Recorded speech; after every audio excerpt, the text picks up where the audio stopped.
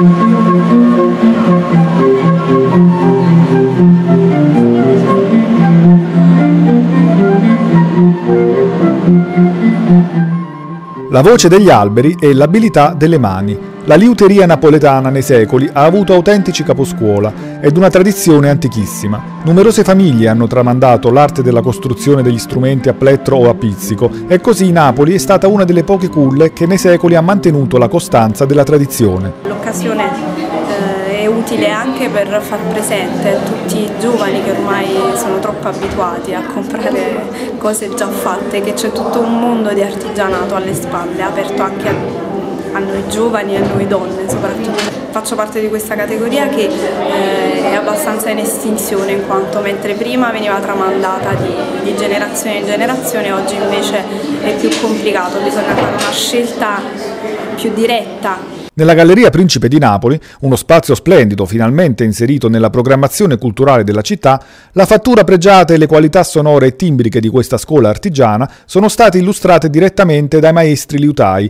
in uno degli appuntamenti di Natale a Napoli. Dal taglio del legno alla lavorazione e dall'assemblaggio delle parti fino alla verniciatura, un vero e proprio atelier con banco di lavoro, legni ed attrezzi per l'intagliatura, per approfondire la sofisticata arte che unisce la fisica acustica e lo studio delle tecnologie. È un progetto per la città, dedicato ai ragazzi e dedicato al futuro. Eh, quella di oggi è sulla musica, abbiamo invitato questi maestri liutai per fargli capire proprio quanto è importante la musica nella loro vita.